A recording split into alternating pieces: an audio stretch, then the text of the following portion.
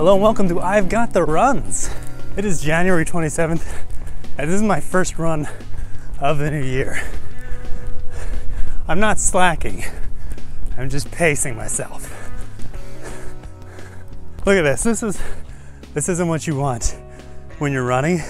See, that's that's way too heavy-footed. Right? You gotta lift those feet. That is a nice beehive there. When you encounter a beehive, the best thing to do is to uh, you grab the branch from both ends, the end past the beehive, and then the end before it, and you just shake so that thing falls off. If you get headbutted as it's falling, then you know you've done it right. I'm not gonna do it in this video because I don't want to show off or die, but something to know just in case you come across that kind of situation. Look at this flag. This flag has decided he's gonna do his own thing. He's not gonna stop where the mailbox tells him to stop. Not like this guy. And there's this flag who's just moved on completely. Now, if you're curious as to whether or not I'm walking during this part, I'm not.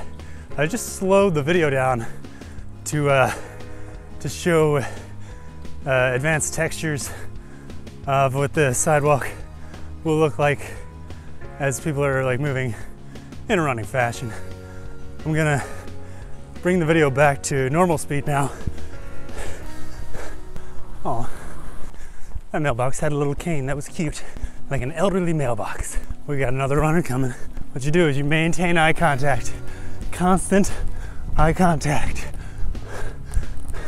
Do not pay attention to the sidewalk in front of you. Oh, now we're locked on. Now we have to duel. Fly away. Be free, Leaf. Rogue baseball. Such a patriotic little stop sign. Be strong, brother. Be strong.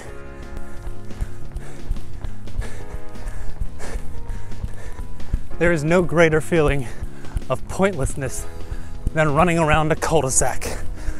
Don't do it. Don't ever. Oh, a pine cone. Cul-de-sacs are the best invention in running.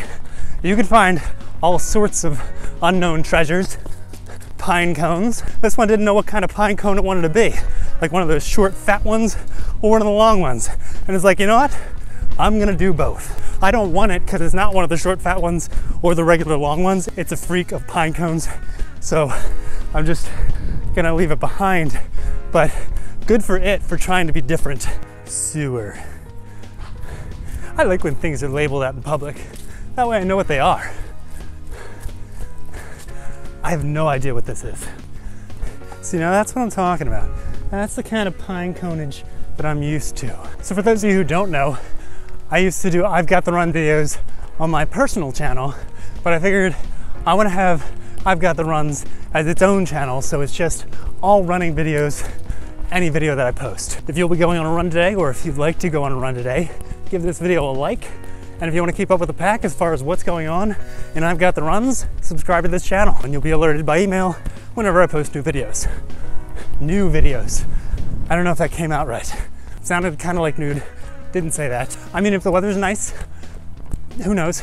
Oh, this guy doesn't have a flag, but it's adorable. Look at you all bundled up. You cold? You feeling chilly out here in this 55 degree weather? I was too till I started moving. So the moral of this episode is get running. All right, come running with me. Let's share a burrito from a shady food truck. In other words, let's get the runs together. I'll see you next time.